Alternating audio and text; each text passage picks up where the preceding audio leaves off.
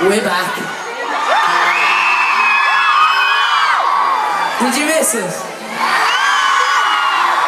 We missed you. We had a little conflab backstage. We had a little conflab backstage, and we have decided that we, we, we like New York. It's nice.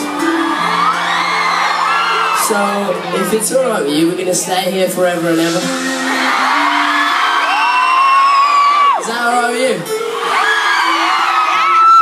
Sure? In all honesty, we just want to say a humongous this big, but a hell of a lot bigger.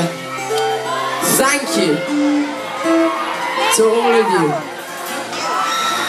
for enabling us four weird, sweaty boys